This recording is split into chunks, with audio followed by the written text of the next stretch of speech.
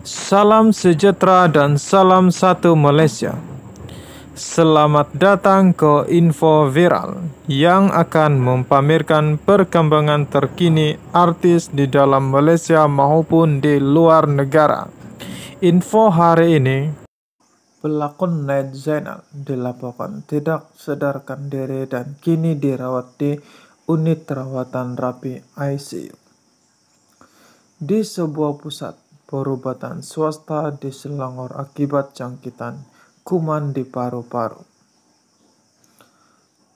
Pengarah dan penerbit Sarulizid Muhammadin berkata, setakat petang tadi Naid dilaporkan stabil namun masih berada dalam pemantauan dokter.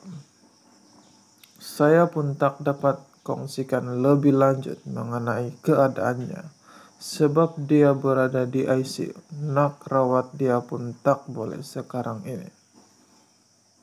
Selain risaukan dia, saya juga bimbang anak-anaknya yang kini dijaga oleh pembantu pribadinya katanya.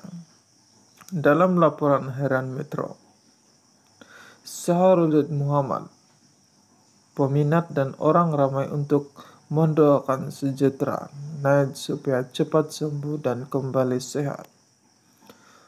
Dua minggu lepas, dia akan berjumpa dengan saya. Ketika itu keadaan dia oke saja, cuma nampak wajahnya sedikit letih dan terus tak sangat untuk dia sedang menanggung kesakitan dan rasanya dia pun tak tahu mengenai penyakit itu. Terdahulu pelakon Gandengan dalam drama Cinta Buta Ungku Ismail menerusi IG story milik memohon untuk ramai mendoakan keadaan ibu tunggal dua anak itu yang kini dirawat di